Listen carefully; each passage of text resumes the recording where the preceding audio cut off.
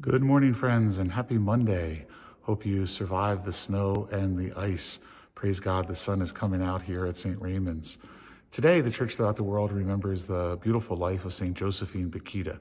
Uh, she's this beautiful woman uh, behind me in the mural who's situated behind Mother Lang and Our Lady of Kibeho, wearing the brown habit of the Canossian sisters.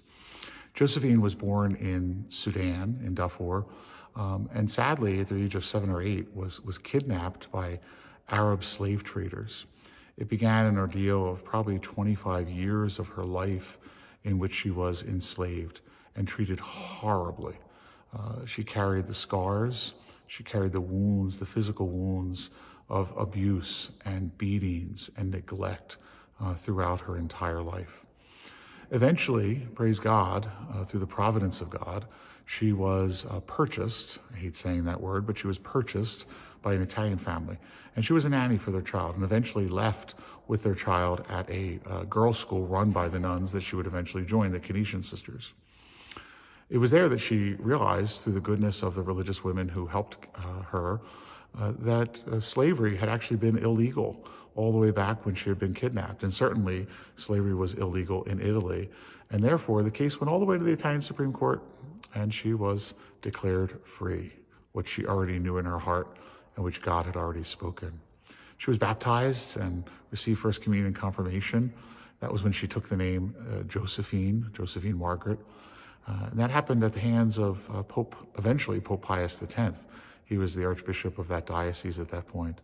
And she would spend the, the, the number of years, uh, more than 30 years, as a religious sister, working at girls' schools, giving testimony and witness to what God had done in her life. That certainly the first chapters of her life were horribly painful, horribly uh, difficult. And yet, through the grace of God, the later chapters were beautiful. They were freeing, they were redeemed. Friends, it's the same with us. You know, certain chapters of our life aren't pretty, but Christ steps in and does something new. Josephine is a saint because of her relationship with God, because of what she allowed God to do in her life. She allowed the cross of Christ to bring her to victory. God wants to do that for you.